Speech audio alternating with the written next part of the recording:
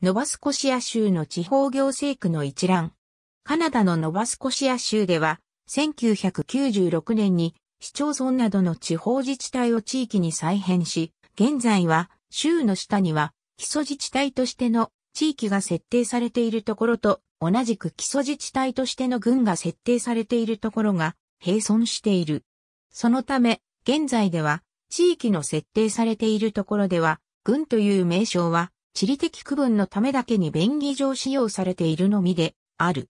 ノバスコシア州の98郡の地図1996年までは、州内の二層構造の地方自治体区分の最上位に位置する区分として18の郡があったが、1996年の地方自治体再編により、郡市制が解体され、9の郡はそのまま単独の地方自治体としての新郡に移行し、また3つの郡は複数の郡や市町村を合併させ、地域となった。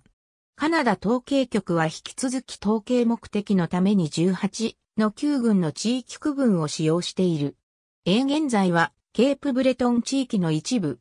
B 現在はハリファックス地域の一部。C 現在はクイーンズ地域の一部。シーハンツ郡は東西に分離し、イーストハンツ郡は現在も存在し、ウェストハンツ郡は2020年にウィンザー市と再び合併し、ウェストハンツ地域に昇格した。1996年の地方自治体再編により、軍市制は廃止となり、代わりに基礎自治体としての地域が導入された。下記の地域は、旧郡と参加及び近隣の市町村を合併させ、地域となった。特に、ハリファックスのような大都市では、かつての市が周辺の市町村を合併し、地域に昇格し、旧制度での市ではなくなり、自動的に行政上のハリファックス市はなくなった。